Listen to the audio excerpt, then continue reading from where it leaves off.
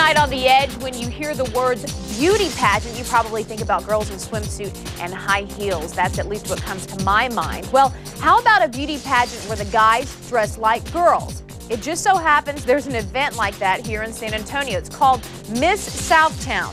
Photojournalist Chris Palmer takes us there. All right, ladies and gentlemen, Miss Southtown Emeritus.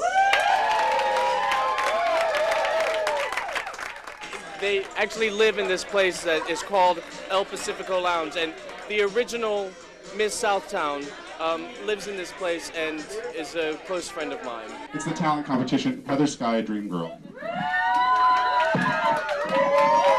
I don't know what to say, but I know that singing with this guitar makes me feel so happy and good.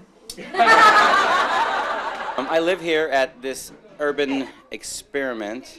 Uh, three of us live here. We've converted what was a storage unit into a living workspace, and uh, we celebrate Southtown by having this all gender, all mammal pageant. Ofrenda.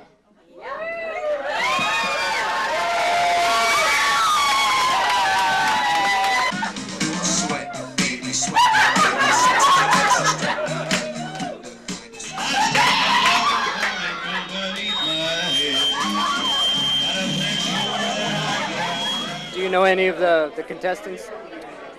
Well, not personally, but I do expect that to change. The night is young, right? The night is quite young indeed. This is, this is the fifth pageant. We've had uh, men, women, dogs uh, compete, and all have won.